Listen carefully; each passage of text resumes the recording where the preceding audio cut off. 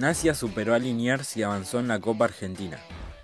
El Lobo no tuvo sobresaltos y derrotó 1 a 0 a Liniers por la primera ronda de la Copa Argentina y se metió en 16 de final donde se medirá con Flandria.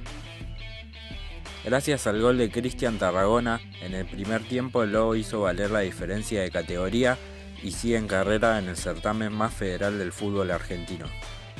El duelo comenzó con el equipo de Néstor Gorosito siendo superior, generando situaciones y a los 22 minutos se rompió el cero en el marcador. Oscar Piris recuperó muy bien la pelota y asistió a Ramón Sosa, que definió pero tapó el arquero. El rebote le quedó a Eric Ramírez, que no pudo superar la defensa que bloqueó el arco, pero apareció Cristian Tarragona para empujarla definitivamente. A partir de allí tuvimos chances de estirar la diferencia, pero no estuvieron efectivos. La más clara fue para Carbonero que reventó el palo.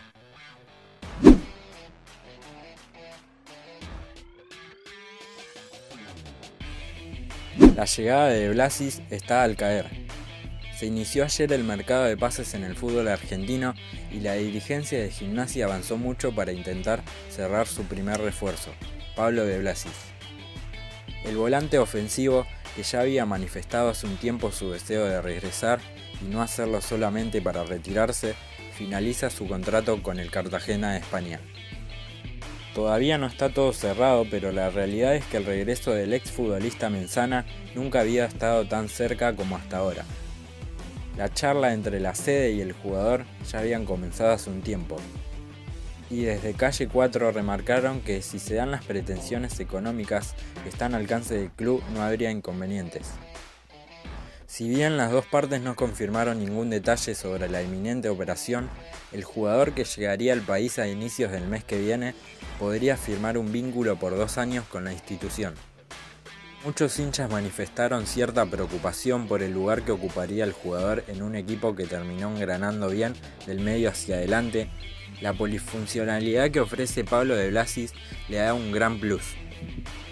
Es que en todos los equipos europeos de los cuales formó parte, se posicionó en diferentes lugares del campo.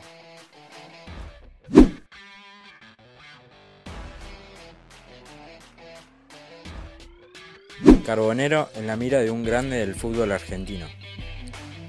El mercado de pases de gimnasia tiene varios nombres en el comienzo, pero la salida de Johan Carbonero protagoniza la principal negociación. Racing avanzó sobre la representación del futbolista y consultó en el logo por las pretensiones. El delantero colombiano es uno de los futbolistas más importantes en la estructura futbolística de Néstor Gorosito, y desde hace tiempo viene despertando deseos en diferentes clubes y ligas del mundo. Después de un bajo rendimiento, tuvo una buena remontada futbolística en los últimos partidos.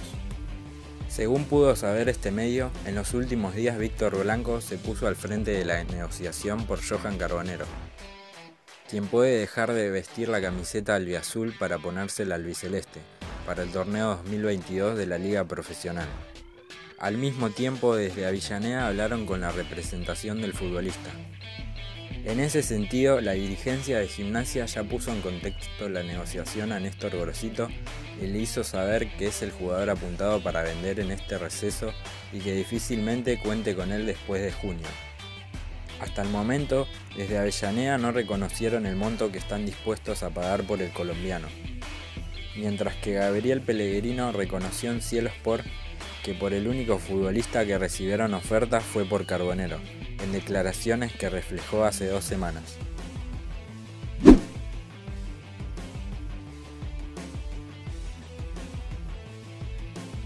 Habrá clásico platense en el debut. La Copa de la Liga ya quedó atrás y todos en el fútbol argentino tienen la mirada puesta en la nueva edición del torneo de la Liga Profesional, que dará inicio el fin de semana del 5 de junio. Este jueves se confirmó el fixture de la competición que contará con el clásico platense entre estudiantes y gimnasia en la primera fecha. El Lobo ya palpita el estreno de una nueva competición, que contará con un condimento especial. Los dos equipos platenses protagonizarán una nueva edición del tradicional enfrentamiento entre ambos en el debut. El encuentro en cuestión esta vez se llevará a cabo en el Estadio de Uno. ¿Cuándo se enfrentarán? El duelo que paraliza la ciudad de La Plata se estará llevando a cabo en la primera fecha de la liga profesional. Si bien el día y horario no fueron oficializados, se tiene la información de que tendrá lugar el domingo 5 de junio a partir de las 14 horas. Será el primer clásico platense en uno con público desde que se reinauguró el estadio. El primer duelo en pandemia se jugó allí, pero sin gente, y los dos siguientes fueron en el bosque.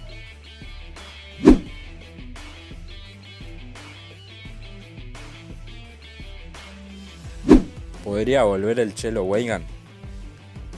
Gimnasia busca reforzar también su defensa y por eso la comisión directiva trabaja en la búsqueda de al menos un lateral y un marcador central que llegue para jugar.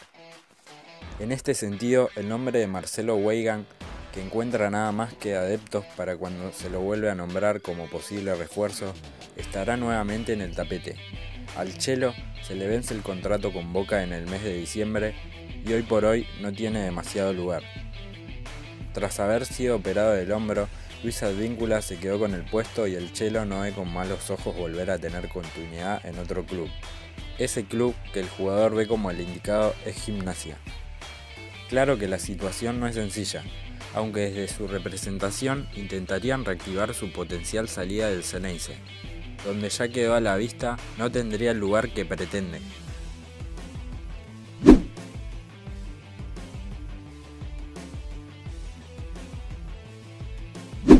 Ahora sí, esto fue todo por hoy y esperamos que les haya gustado el video. Si fue así, no olvides de dar tu me gusta y suscribirte para seguir disfrutando de más contenido como este y mucho más. Nos vemos en la próxima.